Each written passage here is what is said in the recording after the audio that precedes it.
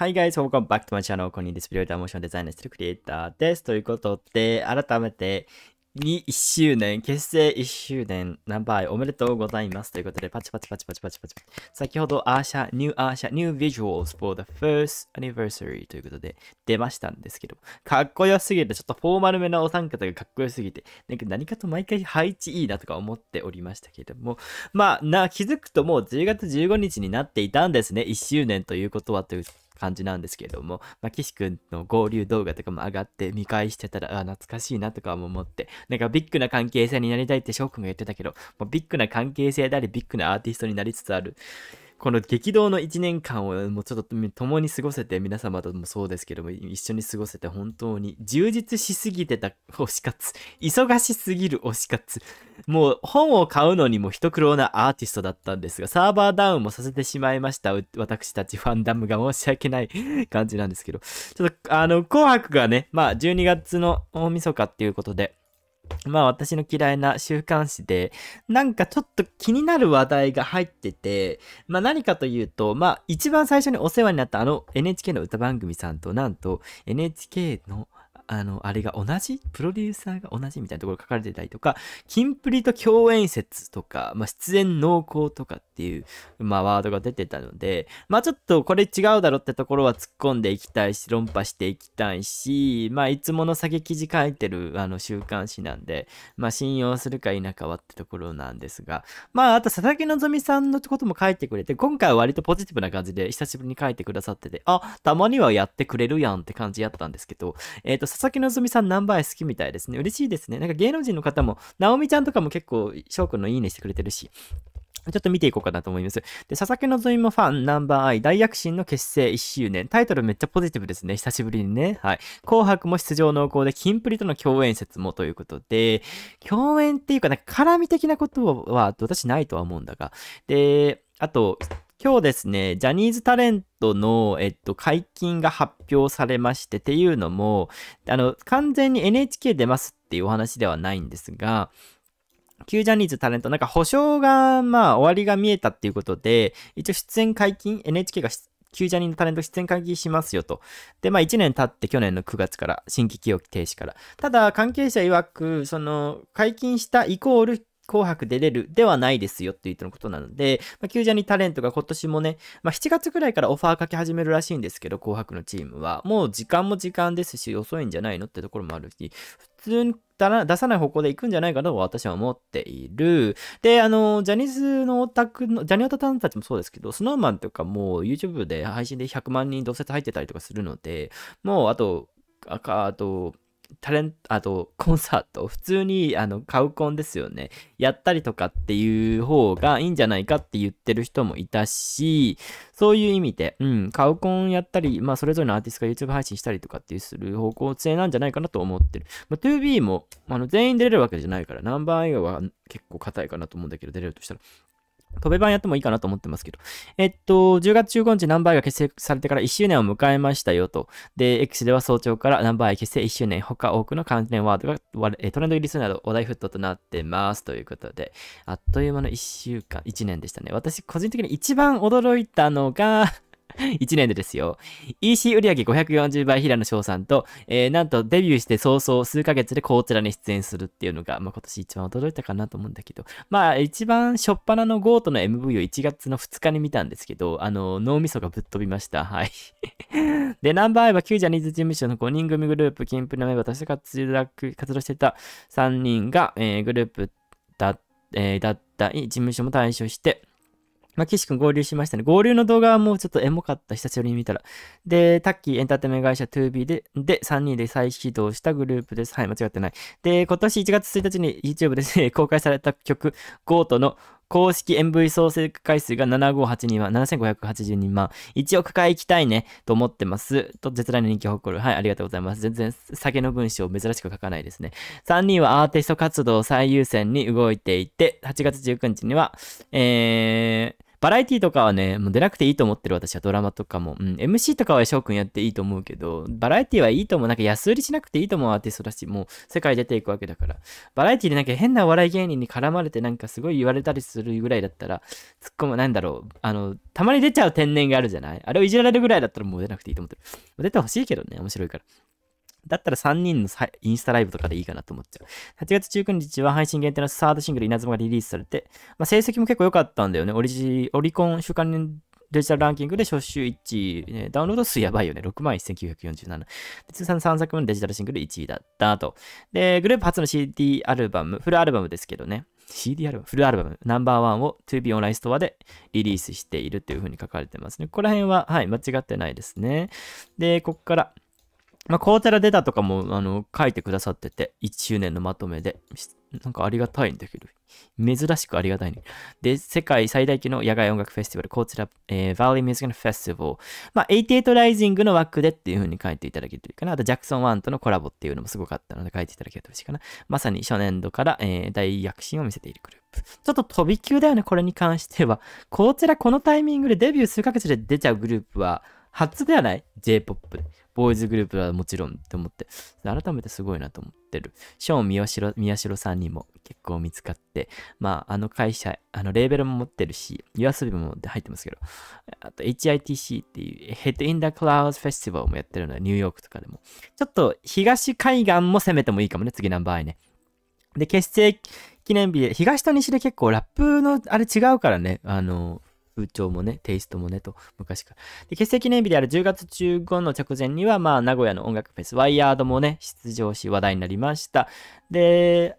で、場所は愛知スカイキスポでしたよと。で、国内外で活躍するヒップホップアーティスト、エイビッチさんとかいましたね。えっ、ー、と、千葉雄大さん、千葉、千葉雄大さんとか、えー、出てましたね。メーガンとコラボした。うん。で、千葉祐希だ、失礼。多数出演するイベントにスペシャルゲストとして参加と。間違ってない。で、開催された平野の出身地、名古屋のため、まあ、外然公演と話題集めてて、うんで、ナンバーズのね、披露もあったね。名古屋出身ということで、平野の名古屋出身とニュアンスが入ってる楽曲も披露。地元愛を感じさせるパフォーマンスでした、と。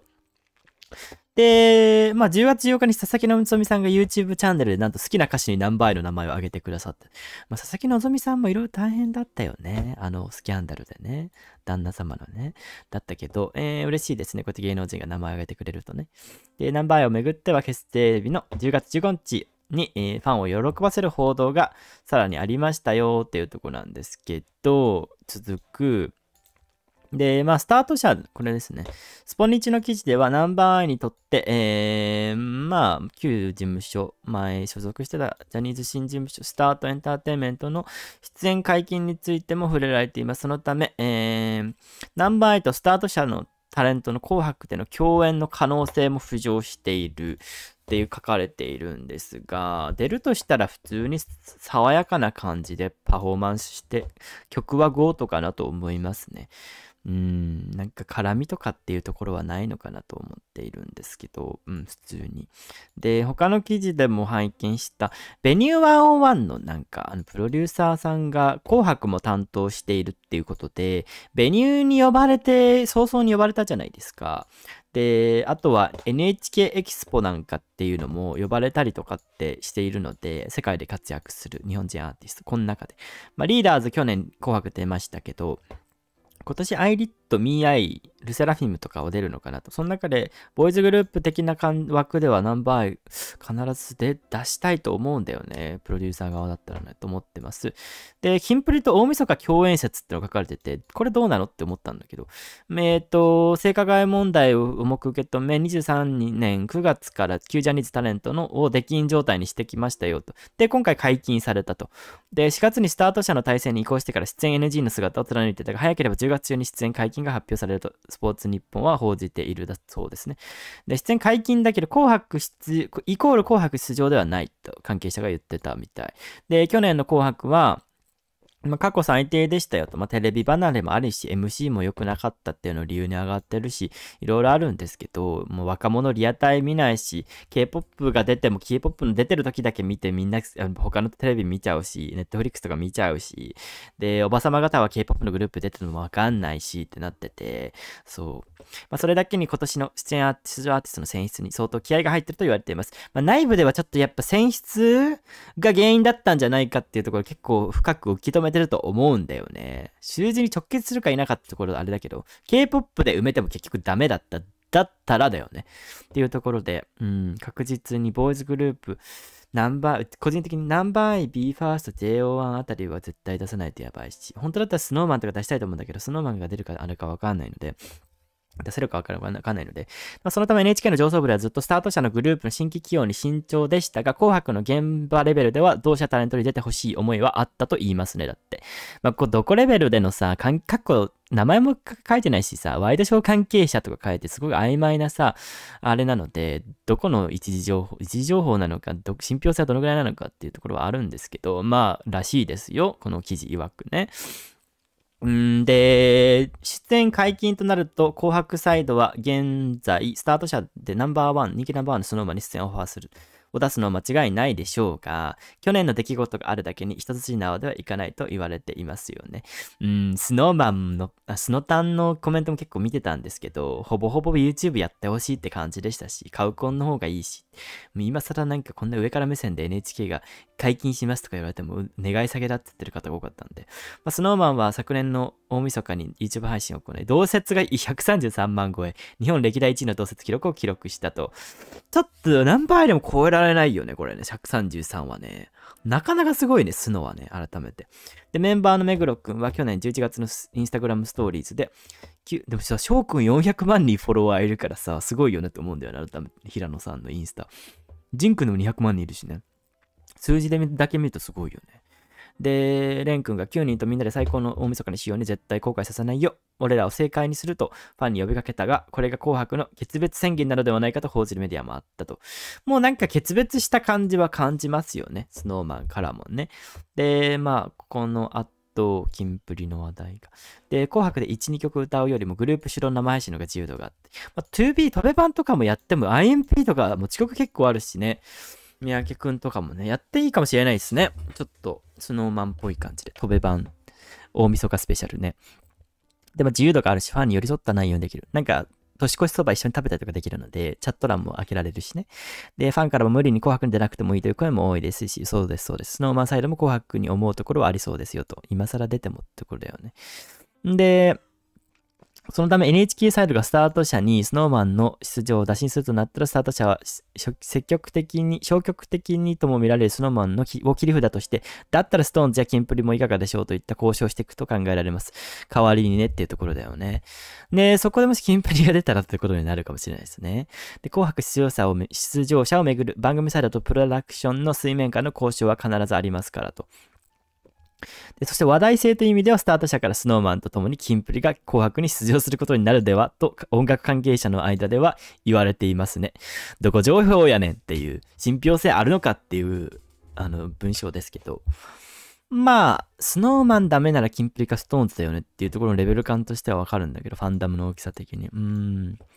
で、キンプリが脱退したナンバーアイと、キンプリが脱退したナンバーアイと、現在はレン君と、カイト君の、えー、二人、二人体制で活動しているキンプリ。彼らは音楽の日など同じ番組に出演したことあるが、同時間帯、同画面に映ったことはない。そうですね。割となんかちょっとあの別っていう感じでの出演が多かったですね。共演が多かったですね。で、まあ、ナンバーアイとキンプリは方向性の違いからっていうところで書かれてますけど、うんと、別の道を歩くことになりましたかもそうですね。で、両グループの間に、まあ、まあなんか、なんかないよね。お互いこうなんか思ってたりとかってとこないし、実際にカイトくんが WithMusic でナンバーアイのパフォーマンスを有働さんの質問に対して、あ、見てますよとかっこよくてパフォーマンス見てますよって言ったりしてるので、別にあの2組の間になんか悪いあれがあるわけでもないし、お互いリスペクトしてるっていうところもあるので、そこら辺は私は安心しては見てはいるんですけどね。まあ、えー、っと、現在も5人時代の LINE グループを残していると、永瀬さんと高橋さんがバラエティ番組で話していたこともありました。そうなんだね。少なくとも両者の、えー、共演は NG ではないでしょう。NG ではないんだけど、別にそこまであの、何倍の3人が共演するからってめちゃくちゃ意識するかって言われるそうでもないし、何倍がゴートで出るとして、かます、かますだけだし、出てね。かましに行ってラップでかますだけなので、うんで、ナンバーがデビューした年の最後の日に、えー、キンプリと女、再開4、5人が同じ舞台の上に立つ、実現すれば間違いなく多数の人が注目するでしょうね。うーん、なんかこの書き方ね、なんか5人再開とかっていうのを見たいっていうよりかは、まあ何倍のファンは、紅白でね、まあ一番日本で歴史のある名誉のある歌番組でっていうところを見たいと思うし、で、まあ出たら出たで、両組出たら出たで、向こう側もこっち側もいろいろ喧嘩す、喧嘩して、いろいろ言いが、いがみ合いというか、いろいろコメントも X で出て出ると思うし、いろいろ言う人も出てくると思うので、まあ本当にドライ、ドライな感じで、もうフェアな感じでお互いのアーティストリスペクトして、もう一緒の画面に別に映る必要もないし、普通にお互いがあのやりたい、やる曲をやるの、やるべ、やるべき曲をやるだけなのかなと思うんだけど、何かとくっつけがちよね、週刊誌ってね、こういうことをね、と思うんですけど。で、1月1日の、えー、強烈なデビューを飾り、えー、目標の海外進出も果たしたナンバーデビューイヤーの大晦日をどう締めくくるのかっていうふうに書かれてますけど。で、まあ、紅白に関しては、まあ、選考基準とかもあって、まあ、間違いないなと思っているのは、まあ、3つあって今年の活躍世論の支持番組曲にふさわしいか。まあ、3点目はほとんどあの主題歌歌ってたりとかっていうとこなんですけど、上の2つ、前の2つは完全に満たしてるし、えっ、ー、と、今年の活躍、まあ YouTube ワールドトレンディングもそうですけど、まあ日本のメディアのね、音楽メディアの媒体のランキングもね、すごいし、こちらっていうところも掴ま、掴んでると思うし、で、まあ、ベニューのプロデューサーがね、紅白担当してるっていうところらしいので、そこら辺でベニューをあれだけ出させてもらってるっていうところは、まあ、好意的に思ってるんじゃないかなっていうところですよね。そう、まあ、成績だけ見ても申し分ないし、ジャパンホット100取ってるし、デビュー曲から、そう。なんで、ある意味、まあ、出た、何倍が出たら、まあ、まあ、ジャニーの界隈、旧ジャニーの界隈から結構言われることはあるのかなと思いますけど、スノーマンとかに関しては、あのスノタンも全然、あの、紅白出なくていいっすよっていう感じなんですよね。で、非ジャニーオタたちも別に出なくていいっていうか、相違で出なくていいっていう風になってるんですよね。だからそこら辺はめちゃくちゃ面白いなと思うんですけど、うん。再開起用で期待されるのは、まあ、ジャニーの再起用再開が決定したんですけど、記事で、大晦日の紅白歌合戦の出場と。まあ、えっ、ー、と、毎年、去年はね、久しぶりに44年ぶりにゼロだったと。で、今年は見たいと期待する声も多いらしいですけど、実際、実情は別に出なくていいがほとんどです。ジャニオタ。一方、起用再開イコール紅白出場とはならないので、っていう指摘する音楽、えー、関係者もいると。で、一昨年まで同社タレントは大晦日に紅白とカウントダウンライブをはしごすることがあって、まあ、去年紅白もなかったので、各グループがオンラインで年越しライブをしてたと。スノーマンみたいな感じでね。そう。まあ、選択肢が増えたってことも書かれてますけど、まあ、実際にファンにも好評だった新たな選択肢が加わったことで、ファンと過ごす、まあ、同関係者はライブで、ライブ配信でファンと過ごす選択肢もあるだろうと。の方が時代に合ってるんですよ。推しがずっと出てる配信の方が見るでしょと。で、まあ去年こんな感じでしたけど、白組のボーイズグループっていう部分では、JO1 とか、で、K-POP にちょっと頼らざるを得なくて、ストレイキッズ17を出したんですよね。まあ、韓国で、ストレイキッズってどちらかというと、アメリカで、あの海外の方が人気なんですね。逆輸入グループなので、ストレイキッズ韓国知ってる好きって聞いても結構あまり知らない方多くて私の周りでも。なんだけどアメリカとかの方がやっぱ支持されてるっていうパターンのグループで、80s さんとかもそうですね。うん。なんですよ。で、他だと、えー、10-FEET じゃなくて、あと、クリーピーナッツ今年出ると思います。えー、 Bling-Bang-Bang-Born すごかったんで。で、ビーファーが出て今年も出ると思います。来年の中学の部の N コンの主題歌を歌います。んで、あと、ボーイズグループっていう意味ではもう全然いないですけど、ここにナンバーアイは足したいんじゃないかなと思うんだけど。まあ、出なくても TOBE 版の年末ライブやったらいいんじゃないと思う。うん。なんかもう海外進出目当てにしてるグループは紅白にこうなんか固執する必要ないと思ってて、うん。こちらの方がすごいし、ぶっちゃけ紅白より全然。グローバル目線で見たら。で、まあ、ミセスグリーンアップルとかって下の方に書かれても、ミセスは出るかなと思っておりますね。うん、ミセスすごかった。と、えー、ナンバーが大晦日の、